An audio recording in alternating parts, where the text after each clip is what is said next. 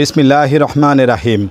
আসসালামু আলাইকুম রহমতুল্লাহ বারকাত সুধী দর্শকবৃন্দ, লাইফ অব মদিনা হতে স্বাগত। আমার পিছনে যে দেখছেন, সেটা হলো ইউনেস্কো ওয়ার্ল্ড হেরিটেজের একটি সাইট। এটা আল আইন হেরিটেজ ভিলেজ। এটা আলবাহা থেকে পঁচিশ মাইল দূরে অবস্থিত। পাহাড়ি আঁকাবাঁকা রাস্তা দিয়ে এখানে আসতে হয় এবং দেখতে হয় এই সুন্দর জিনিসগুলো। আল্লাহর কি সৌন্দর্য।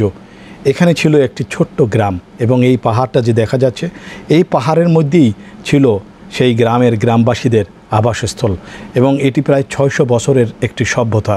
এখানে যে উপজাতিরা ছিল, এদের মধ্যে যখনই সবসময় যুদ্ধ বিগ্রহ লেগে থাকতো, তাদের থেকে বাঁচার জন্যই তারা এই যে ক্যাসেলটা এবং এই দুর্গটা বানিয়েছিল। এটা পাহাড়ের মধ্যে তারা সেই যুগে, ছয়শো বছর আগে, তারা বানিয়ে একত্রে বসবাস করতো যাতে শত্রুরা এসে আক্রমণ করতে পারতো না। আল্লাহ তোমার সৃষ্টি তামাম খুবই চমৎকার। তোমার হাতে রূপে গড়া বিশাল জগৎটার তুমি শ্রেষ্ঠ রূপকার তুমি। আল্লাহ আকবার তুমি, আল্লাহ আকবার তুমি, আল্লাহ আকবার। এই উপজাতিদের সাথে তুর্কিদের সাথেও যুদ্ধ হয়েছিল এবং এই উপজাতিরা তাদের সাথে তারা জয় পেয়েছিল, তুর্কিদের সাথেও তারা জয় পেয়েছিল।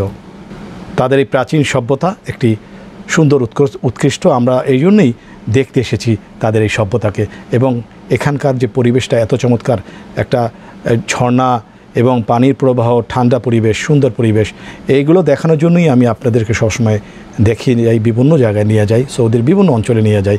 আজকে মদিনা থেকে এত দূরে, প্রায় নয়শো কিলোমিটার দূরে, আমি আল আইনের, আল বাহার একটি ছোট জায়গা, আল আইন হেরিটেজ ভিলেজে এসেছি। দেখতে থাকুন আমার সাথে। রবিবার দিন ঠিক করিয়া দিলে কাজে মন। ছয় দিনেতে বিশ্বভুবন করিলে সৃজন, তুমি করিলে সৃজন। রবিবার দিন ঠিক করিয়া দিলে কাজে মন।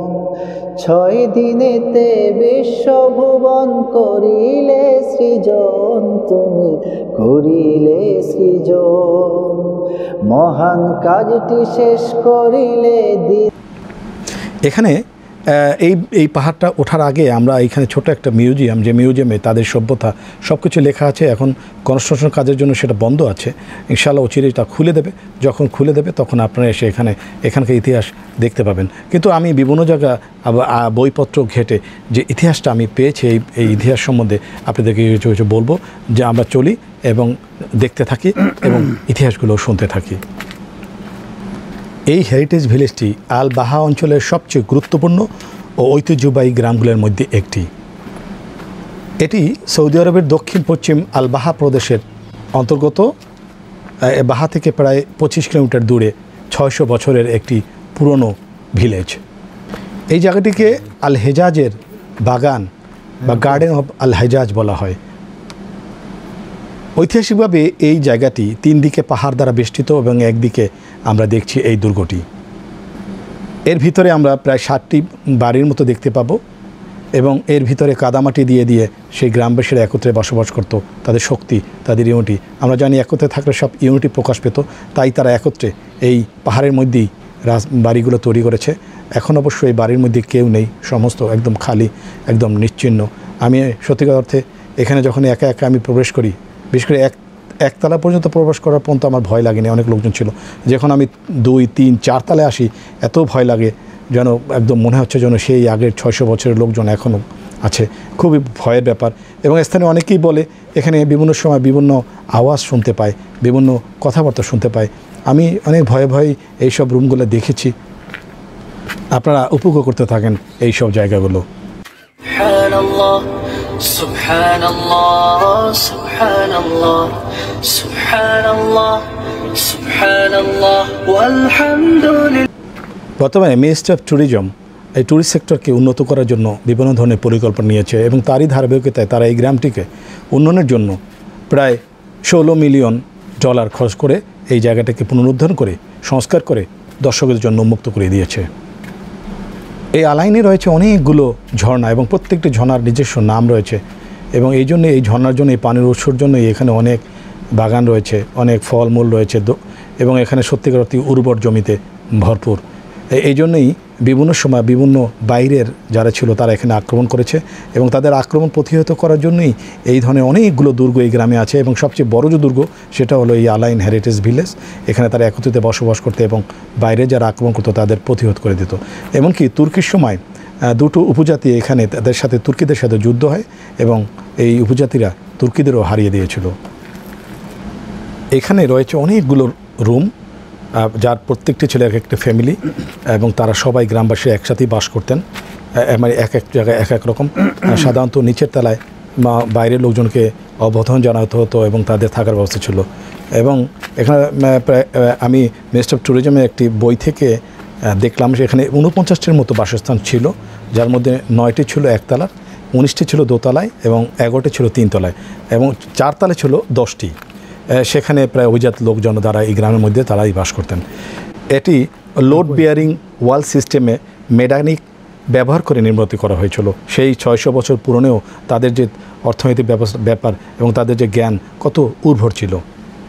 আমরা এখানকার যে দেওয়ালগুলো খুবই মোটা, প্রায় পয়েন্ট নাইন মিটার, প্রায় এক মিটারের মতো মোটা এবং কাঠামোগুলো কাঠ দিয়ে ব্যবহৃত এবং ছাদেও কাঠ ছিল। যে পাথরগুলো তারা কেটে কেটে এই বেলা- এই যে এটা বে- বানিয়েছে সেটা আহ, কাদা দিয়ে আচ্ছাদিত করা ছিল এবং কাদা দিয়ে প্রলেপ দিয়েই তারা এই ওয়ালগুলো তৈরি করছে এবং প্রচণ্ড রকম শক্ত ছিল এই জায়গাটা একসময় আহ, ভা- ধ্বংসস্তূপ ছিল إن الله سبحان الله والحمد لله ولا إله إلا الله سبحان الله والحمد لله ولا إله إلا الله. سبحان الله والحمد لله ولا إله إلا الله. سبحان الله سبحان الله سبحان الله سبحان الله سبحان الله والحمد لله. ولا إله إلا الله. سبحان الله والحمد لله.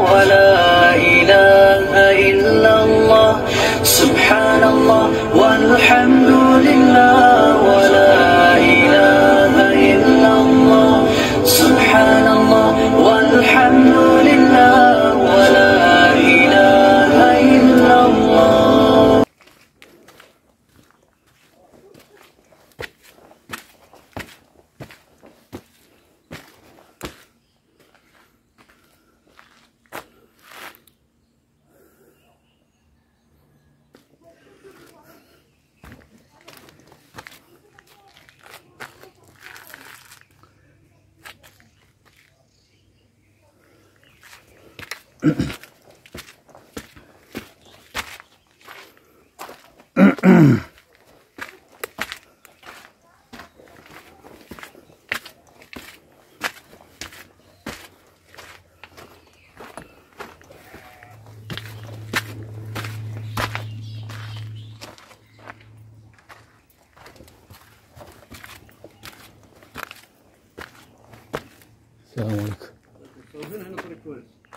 coisa. ¿eh?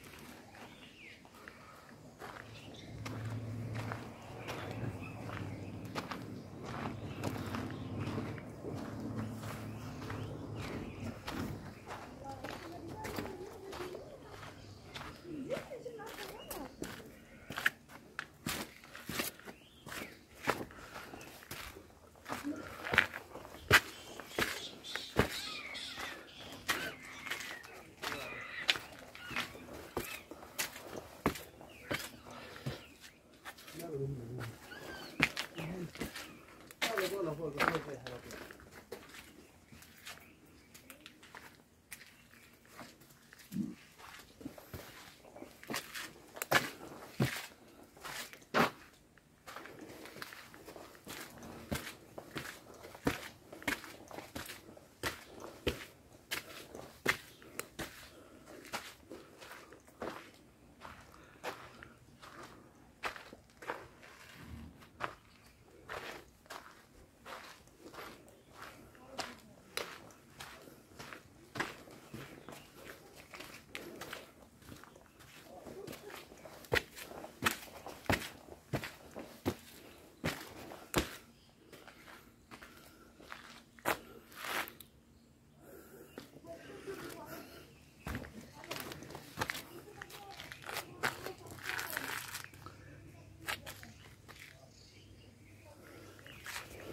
السلام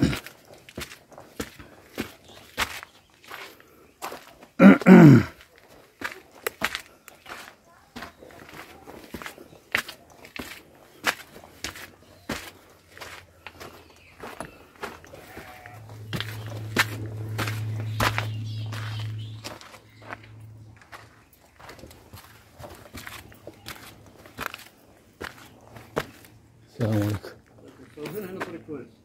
هلا كويس ها؟ فوق باقي فوق.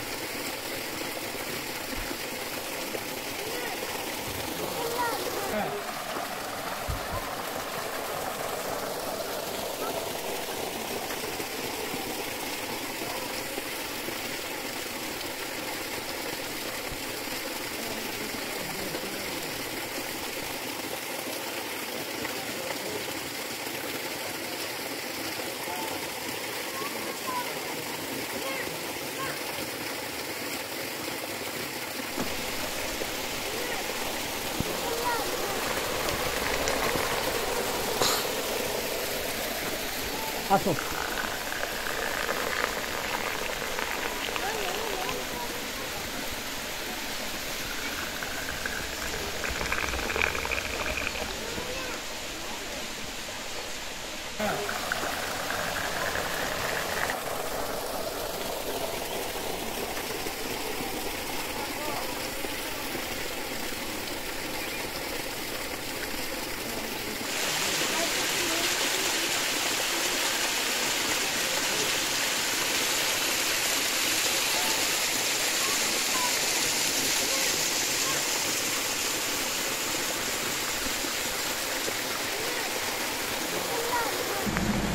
শুধু দর্শকবৃন্দ, আমি এর পরবর্তীতে আলবাহার আরও চমৎকার চমৎকার জায়গায় গিয়ে অনেক অনেক ভিডিও করেছি।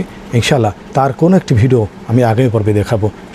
আজকের মতো শেষ করছি। আসসালামু আলাইকুম রহমতুল্লাহ বারাকাতু